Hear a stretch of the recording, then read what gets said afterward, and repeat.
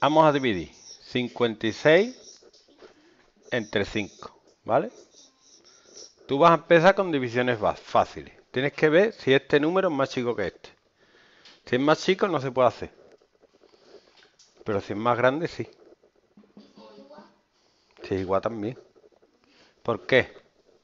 Porque puedes coger este aquí. 5 entre 5, ¿cuánto cabe? Y tengo 5 caramelos. Y hay 5 niños, ¿cuántos caramelos tocan a cada niño? ¿Qué dice? A ver, tengo 5 caramelos y hay 5 niños. ¿Cuántos caramelos le tocan a cada niño?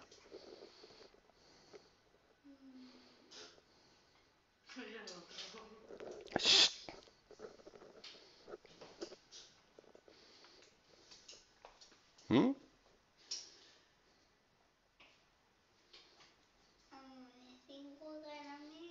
Y cinco niños. ¿Cuántos caramelos le tocan a cada niño?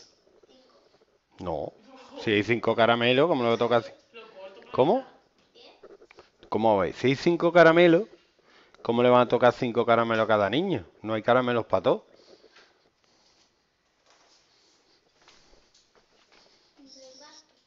Claro, un reparto. Tengo cinco caramelos.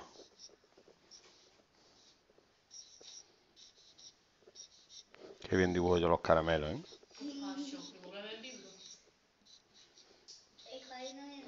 Y hay cinco niños. Qué bien dibujo yo los niños, ¿eh? Mira, este le sale la pisillito.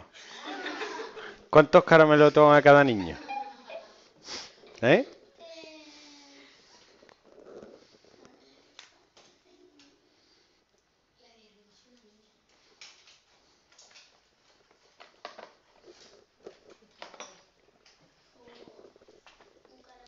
Un caramelo. 5 entre 5 es 1. A ver cómo lo haces tú. Tienes que buscar la tabla del 5, el primer número que llegue, pero no se pase. 5 por 1, 5. Pues coges el 1, ¿vale? Pon el 1 aquí. Ahora hace 1 por 5. ¿Cuánto es? y 5 menos 5, esto no se pone. Pero yo lo voy a poner para que tú sepas lo que tienes que hacer. 5 menos 5, 0.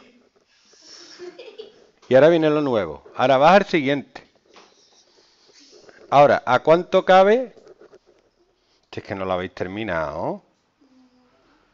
No. No, es mentira. No lo habéis terminado. A ver, 6 a cuánto cabe entre 5. ¿A cuánto cabe? 5 por 1, 5. 5 por 2, 10. Se pasa de 6. Entonces tengo que coger el 1 otra vez. Y ahora hago 1 por 5 y lo pongo aquí restando, pero lo pongo chiquitito porque tú no lo puedes hacer. 6 menos 5. Ya está. Esto es el resto. Y esto es el cociente. Y ahora lo voy a comprobar. Para comprobarlo multiplico 11 por 5. ¿Cuánto es 11 por 5? 5 por 1, 5 por 1 y ahora le sumo el resto. ¿Cuánto es? 55. Mira, lo mismo que tenía al principio, ¿lo ves? Ahí está, esa es la prueba.